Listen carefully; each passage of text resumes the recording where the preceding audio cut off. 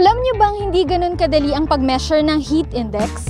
Dito sa Science Garden Station sa Pag-asa Headquarters in Quezon City, ipinakita sa amin ni weather observer Jonelyn Bautista kung paano nga ba. For the heat index or temperature na nararamdaman ng katawan, may hourly observation sila from 11 a.m. to 5 p.m.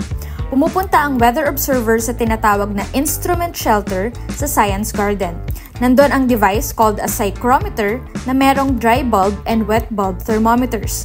Tinatawag na wet bulb yung isa kasi may maliit na cloth sa loob na dapat basa ng tubig. Distilled water to be specific.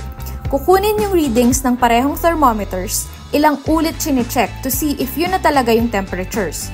Next, babalik na sa desk para i-fill out itong malaking form.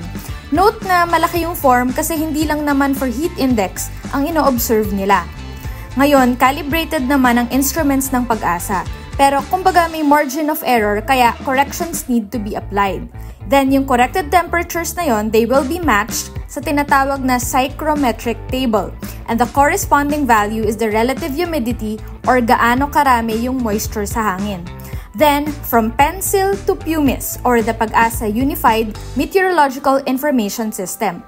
I-input yung figure sa system na to para ma-access din ng ibang tagapag-asa sa ibang mga opisina nila. Ang kailangan kasi para masukat yung heat index are air temperature and relative humidity.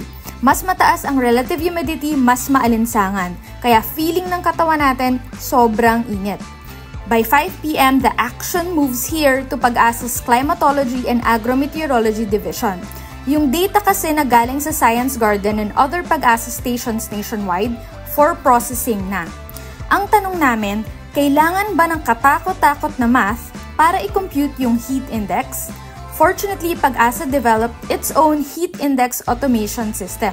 Irarun lang yung raw data sa system na to, then makukuha na yung heat index kada lugar. The highest heat index per station per day makes it to this table released before 6 p.m. For the Science Garden na pinuntahan namin, nag 43 degrees Celsius pala yung feels like temperature at 12 p.m. Ramdam nga. O di ba hindi ganun kasimple. Ganyan kinukuha ng pag-asa ang heat index.